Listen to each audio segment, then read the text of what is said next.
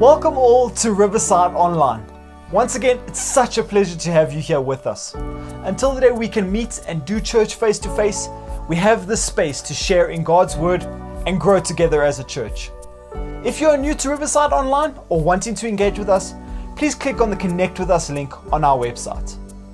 Hope you enjoy the sermon, and if you have missed any of our previous sermons or want to catch up, please check out our YouTube channel, Riverside Community SA.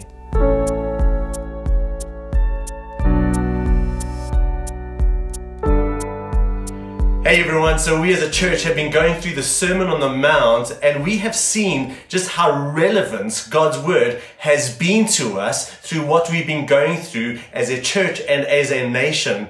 And we've seen many kind of God incidents moments where God's Word has kind of punched through 2,000 years of history and become so alive and relevant to us. And once again, this week I am amazed at His timing. And why do I say that? Well, we're over a hundred days into our lockdown here in South Africa. And while some businesses have opened up and while there are a few churches that have even opened up, we as a church have decided not to. And the primary reason, amongst many others, was that we knew the spike was still coming.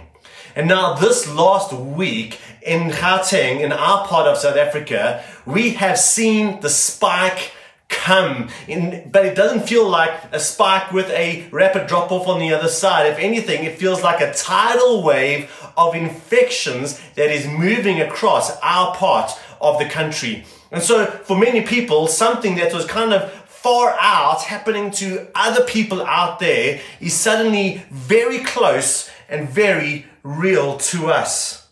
And while maybe a few weeks or a few months ago we were worried about our livelihoods and our businesses and the economy, many of us are starting to worry about our lives. And then we get to God's word, and we're just going through the Sermon on the Mount, the sermon that Jesus preached 2,000 years ago. We're going through it verse by verse, section by section, week by week, and yet we see God's impeccable timing. Because if you open up your Bible today and see what we're going to focus on, you're going to see that God wants to speak to us about our fears and our worries and our anxieties at the point where I believe our worries and our fears and our anxieties are at their peak. So God is amazing. Now, while this COVID season has definitely given us plenty to worry about, it's not the only things that are causing anxiety in your life. Maybe for some of you, you're anxious about being alone. Maybe some of you get anxious about social media, either because of the news coming up or you're seeing everybody else's highlights and you feel like your life is a constant low light and that causes you anxiety. Maybe these events are just causing you to feel like you're losing control and, and that's causing you fears and anxieties. Maybe you have anxiety about losing a loved one or losing another loved one. Or maybe a sermon on anxiety is giving you anxiety, and I understand that. But let me get real with you for a second. I, don't think that I tend to be an anxious person. However, over the last few weeks, I've definitely felt the levels of worry in my life rise. I mean, my kids, like many of, all, of yours, are going back to school, and that was never anything I ever had to worry about. And while, yes, we send them with faith and with prayer, and we trust all the systems and we trust all the people, suddenly there are new things to be anxious about there. And then I worry about our church, and by our church, I mean you guys. I know that so many of you are feeling burnt out. So many of you are feeling bombarded, are getting worn down and worn out, and are just slowly feeling your hope get eroded. And I worry about the unknowns. I worry about when can we meet again or when should we meet again and how long is that going to be and what does it mean for us as a church? And then like you, I worry about what this virus is doing to our nation what's coming out of our nation economically and politically, the lives of people we know. And, and I'm also worried about what this is doing to our minds and our hearts and our souls. Now, this experience is probably different for every single one of you, but today we're going to find out that God the Father loves you so much that He's going to sit you down. He's going to sit me down and He's going to have a loving conversation with us about our fears and our anxieties. So let's dive right in. Matthew chapter 6, verses 25 onwards. And Jesus starts off saying this He says, Therefore I tell you, do not worry about your life. And I just want to stop there for a second because I don't know if that first line comes across a little bit trite. I mean, here are all these big things giving us real reasons to be anxious and worried and fearful. And here Jesus comes along and says, just don't worry. All right? I, I don't know if you've ever been angry and someone's come up to you, especially if they're a spouse, and said, just stop being angry. So what has that done for your anger, right? Has it stopped your anger or has it fueled your anger? Or in this case, we've got so many reasons to, to cause us to lose our fear and our, sorry, to be afraid and to lose our faith. And then Jesus says, well, of course, he's got a lot more to say, but at this point, he says, just do not worry. Now, anxiety has been a growing problem for us, even BC. And by BC, I mean before COVID. This has been a phenomenon that has been growing in our nation and actually growing across the world. And there are many complex reasons why this is happening, especially in our younger generations. But there are also many complex reasons why you, on any given day, may be experiencing fear and anxiety. And so, just before we move any further, I want to speak about maybe four kinds of anxiety or four levels of anxiety, just so that we can locate ourselves in this message. And the, and the first one is this that, that some of you are experiencing anxiety because of a genuine, life threatening situation. Now, I know this kind of sounds a bit contrived, but let's say your child starts running into the highway traffic you are going to feel a spark of fear and anxiety in your body. That is not a moment to cast your burdens onto Jesus. That is not a moment to stop and meditate and start being grateful towards God for all the other good things in your life. That is a God given impulse for you to act and go and save your child, right? So some of you are experiencing some appropriate levels of anxiety because of some of the very real situations that are true in your life right now. Then there's a second type of anxiety, and some people are experiencing anxiety because of their own sin and their own shortcomings, bad decisions that they have made. And so, for example, if someone's gambled away all their life savings and the house and the car and the washing machine, or to maybe think of another situation, someone's having an affair and cheating on their husband or their wife. Those kinds of people are going to be experiencing chronic anxiety because of what happens if I'm found, if I'm found out and, and what are going to be the consequences to my family and my future. And so some people experience real chronic anxiety, which are simply connected not to daddy issues and you know strange forces going on in the world around us, but they are simply a result of your sinful decisions. Then maybe a third type of anxiety some people are experiencing would be clinical anxiety, which is a genuine debilitating physiological condition. This is a, a medical condition where someone who needs help in this area is going to need ongoing medical and psychological and spiritual help. And it's always good to know that there's still hope in those kinds of situations. And then a fourth kind of anxiety is where someone is experiencing fear and anxiety as a result of their lack of faith in God.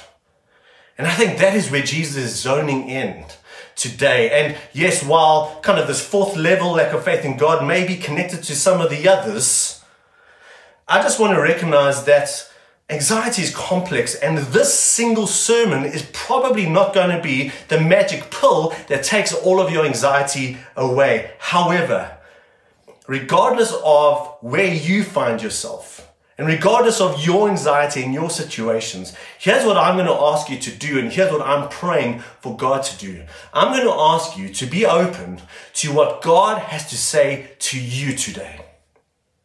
And so I'm going to ask God to take everything that He's got in His Word, and because His Word is living and active, and because Jesus is alive and active, and because His Holy Spirit is with me right now and with you right now, I'm going to ask Him to take what He wants for you and to make it land for you in a very special, clear way. And so while other points may be less relevant to you and extremely relevant to other people, you can walk away today knowing that you've encountered God's voice in the middle of your fear and anxiety. So let's read the whole passage together. Matthew chapter 6, verse 25 onwards. Therefore I tell you, do not worry about your life, what you will eat or drink, or about your body, what you will wear. Is not life more important than food, and the body more important than clothes? Look at the birds of the air. They do not sow or reap or store away in barns, and yet your heavenly Father feeds them. Are you not much more valuable than they? Who of you, by worrying, can add a single hour to his life? And why do you worry about clothes? See how the lilies of the field grow. They do not labor or spin, and yet I tell you that not even Solomon in all his splendor was dressed like one of these. And if that is how God clothes the grass of the field, which is here today and tomorrow is thrown into the fire, will he not much more clothe you, O you of little faith? So do not worry, saying, What shall we eat, or what shall we drink, or what shall we wear? For the pagans run after these things and your heavenly Father knows that you need them.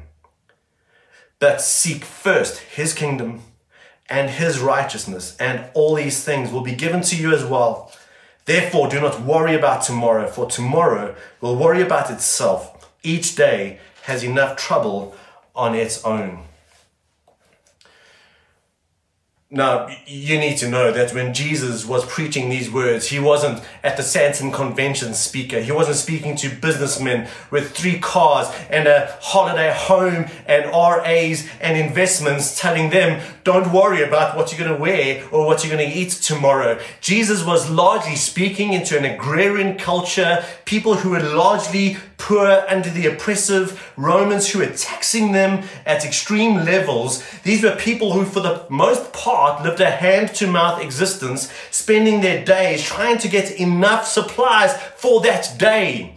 So these were people for whom what am I going to eat tomorrow or what am I going to wear tomorrow was a very real concern, as it may be for you right now, too. And so maybe knowing that, you might think to yourself, well, that's quite cruel of Jesus to say to people who are struggling in this very real way, don't worry about what you're going to eat. Don't worry about tomorrow. So to help us to get to what Jesus does mean, let's start off with what he doesn't mean. First of all, Jesus is not saying, do not plan. He's also not saying that if you think and plan about the future, that you have no faith. He's also not saying that if you have an RA or a savings plan, he's not saying do not invest. And I know these things for a fact because God is consistent with his whole word. And there's plenty of wisdom that comes out of the whole Bible, encouraging us as far as we are able to do these very things. So Jesus doesn't mean those things. He's also not saying just live your life with reckless abandon in the name of faith and, and make poor decisions in the name of Jesus and in the name of not worrying. So if he's not saying those things, what is he saying? He's saying, do not worry. Do not worry. So yes, plan, yes, think, make wise decisions, yes, but be crippled by worry, no. So I want to talk about four handles that Jesus gives us coming out of this text that can help every single one of us navigate some of the fears and worries and concerns that we have at the moment. And the first handle he gives us is this. We worry about what we are most invested in. We worry about what we are most invested in. Now, some of you are saying right now, well, that sounds familiar. In fact, I listened to your sermon last week, Steve, and that sounds like one of your major points from last week, and you would be 100% correct. So, what's going on here? Well, what is the first word of the passage that we read today? If you pick up your Bible, first word of verse 25 is therefore. And so, whenever you see, this is just kind of like Bible hack, whenever you see the word therefore in the Bible, you need to ask what it is there for. Ha ha ha. So, therefore is connected to the previous verse where Jesus says, No one can serve two masters. Either he will hate the one and love the other, or he will be devoted to the one and despise the other. You cannot serve both God and money. Therefore, do not worry. And so Jesus is highlighting that for some of us, our anxiety comes from a place of having put someone or something in the place of God in our lives. And because I love and I trust and I obey this idol in my life, and because I look to this thing for ultimate meaning and value and purpose and joy and life and love, when this thing that I've idolized becomes threatened, of course I'm going to be crippled by anxiety. And so here's how this works. And we actually had a conversation about this with our life group on our uh, Zoom meeting on Wednesday evening. But when we have good things in our lives, right, we are allowed to, biblically and as Christians, we are allowed to enjoy them and to desire them. And the Greek word for desire, and I, I don't like this is not to like impress you with my Greek, but you'll see the connection now. The Greek word for desire, and a good God-given desire is thumia. Thumia. But when this good thing and this good desire becomes a God thing, it moves from being a thumia to an epithumia. An epithumia. It is an inflamed desire. And Timothy Keller, who speaks just so well and clearly, spoke about him last week as well, about idols in our lives. He says, when we've got an idol like this in our lives, we don't have just ordinary levels of desire for it. We have these epi levels of desire for it. We become bipolar regarding our idol. And now he's not making psychological or psychiatric evaluation. This is what he means by that. What he means is because something is epithumia in my life, it means when I like it, I don't just like it, I epi like it. Meaning, I love it, I'm devoted to it. When I enjoy it, I don't just enjoy it at appropriate God given levels, I epi enjoy it and I find meaning and purpose and significance in it. But then, of course, when I, when I lose it, I don't just become sad, I become epi sad. I, I'm devastated and I'm broken by that loss. Or when I worry about my idol, I don't just worry about it at appropriate levels, I epi worry about it. And it cripples me. And that anxiety pulls the rug under the, out under the feet of my life. And so Jesus is holding up this idea as a red flag and a warning for us because we worry about what we are most invested in. But then he moves us to a second handle just for us to help navigate our fear and anxiety, and it is this God doesn't just want to save you, He wants to care for you. God doesn't just want to save you, He wants to care for you. Now, I know for many people, coming to Jesus is like getting a get out of hell free card. And, and once we've trusted in Jesus, the prayer that I prayed 5, 10, 15, 30 years ago, I kind of say to God, well, well, thanks for that. I couldn't get up on the cross the way Jesus did. Thank you for getting me out of hell and into heaven. But I'll tell you what, Jesus, I'll take it from here. I will look after my life from this point onwards. That's something I regularly speak about at Riverside is that our Father in heaven is our how much more Father, how much more Father. And Jesus brings us up again and he says, listen, if God cares for budgies, how much more is he going to care for you? Or if our Father in heaven cares for the flowers and the grass of the field, how much more will he care for you? Listen to these incredible verses, Isaiah 49 verses 15 to 16. Can a mother forget the baby at her breast and have no compassion on the child she has borne? And though she may forget, I will not forget you. See, I have engraved you on the palms of my hands. Listen to Romans 8:32.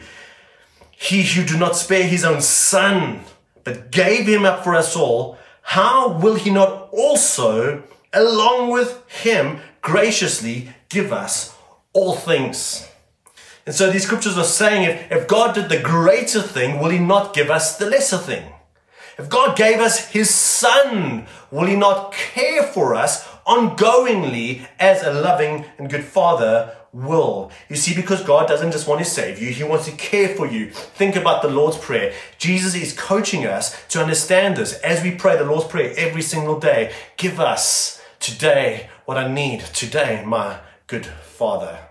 And so, whether you've got lots or whether you've got less, we are designed by God to come to Him and recognize Him as the one who cares for us. And so, I think the perspective shifts that we are being challenged on is something like this.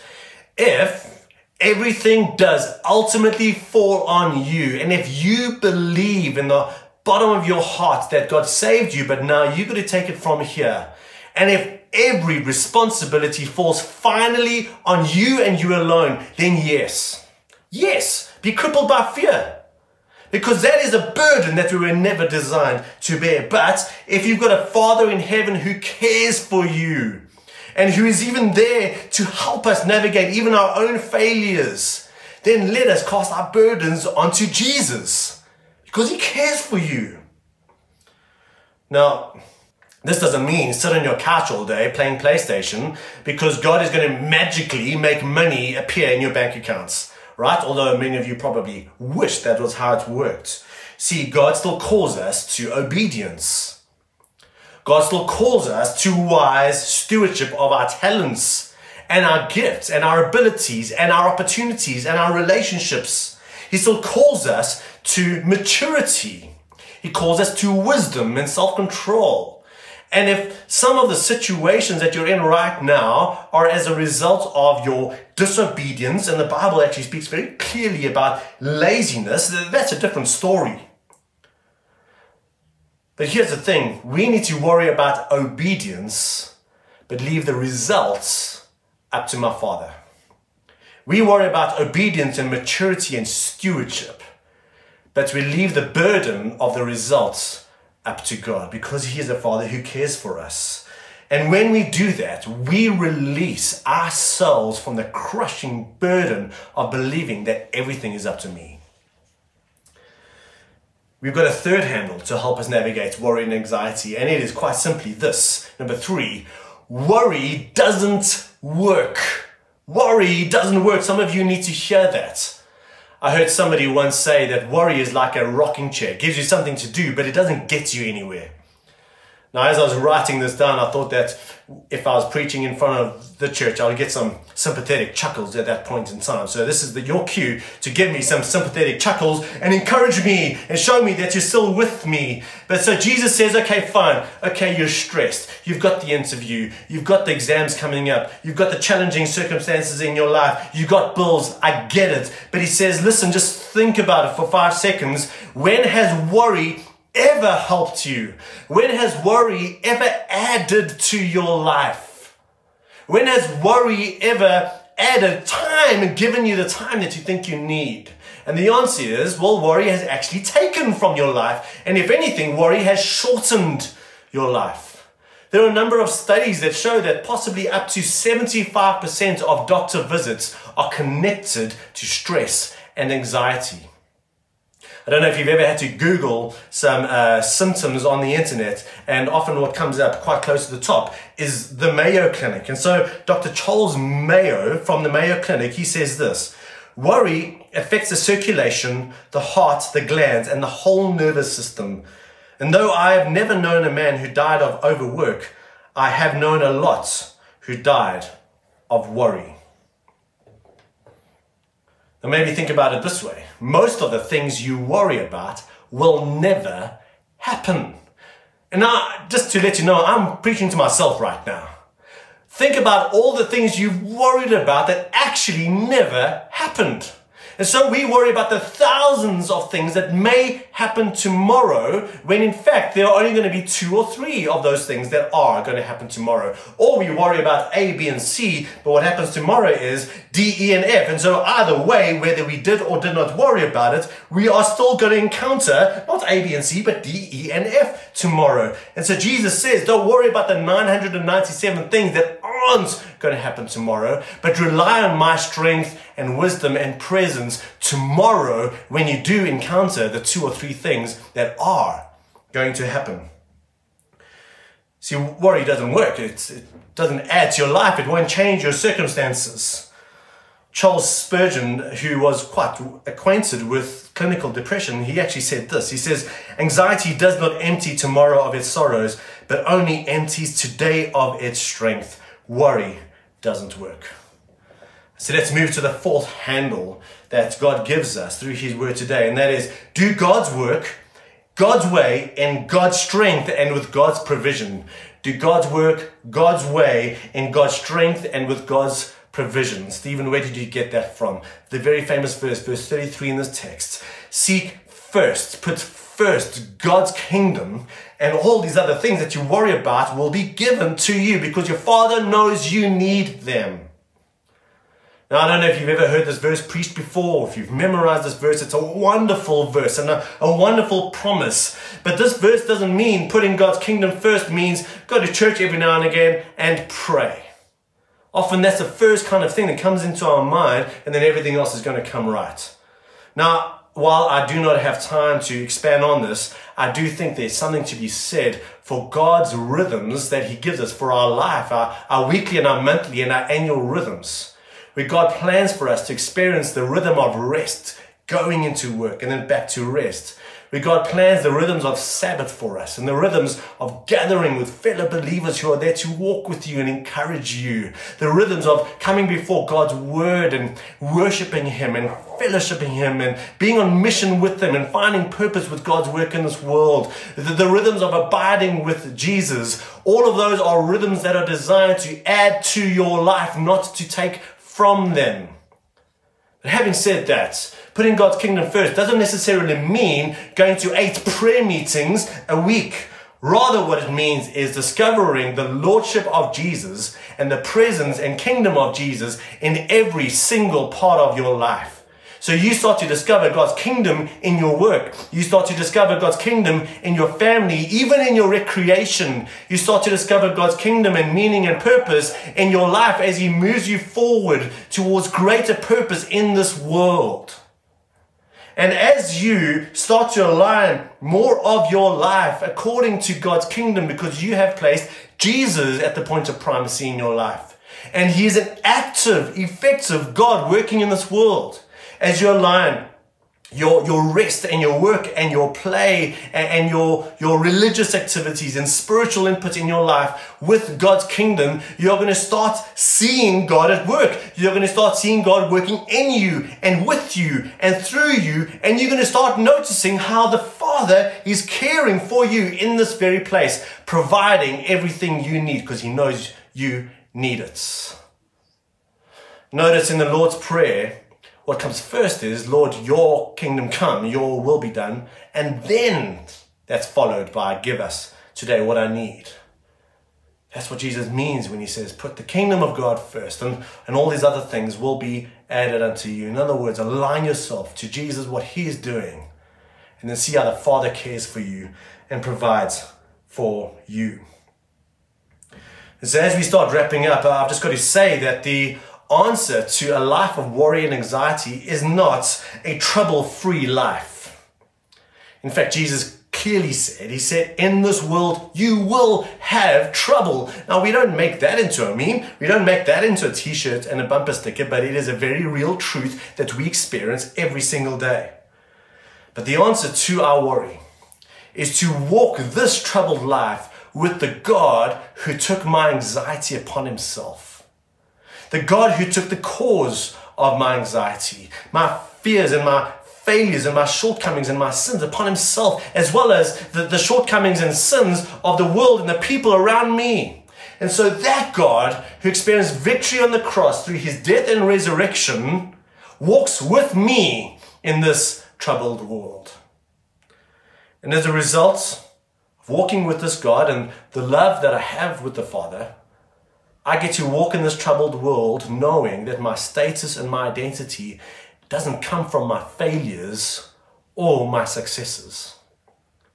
but rather comes from the fact that when my Father in heaven looks at me, he doesn't see me as this needy, pathetic person or a failure. Rather, he sees someone who is whole, who he loves fully. In fact, he loves me and enjoys me as much as he loves and enjoys his own son, Jesus. And that is the scandalous truth of the gospel. It's got nothing to do with my performance. And so I can be secure in that. And then finally, my security comes from not necessarily knowing the future, but walking with the one who does control the future. So I would like to pray for us, and, and I want to really invite you into this prayer with your unique set of circumstances. Because there are so many things going on right now in, in the world and in our country and in your life. And so, the best starting place for us all after hearing God's word is to respond to Him in faith and trust and to bring our burdens to Him. So, pray with me. Father, I want to thank you that you are a Father who saves and you are a Father who cares for us. And, and you care about our salvation, but you also care about our concerns and our anxieties. And I want to thank you that we can cast our burdens onto your capable and broad shoulders, Jesus, as you bore our burdens on the cross and carry them for us. And right now, I want to ask Holy Spirit, who is present with us, that you would minister and bring your peace and your freedom right into our place of fear and anxiety. Father, we want to bring before you our beautiful country. We want to bring before you our leaders. And I know that our nation is a source of anxiety for so many of us. As we are worried about the political and economic forces at play. So, Father, we lift our nation up to you. We lift our leaders up to you and we ask for your favor upon us.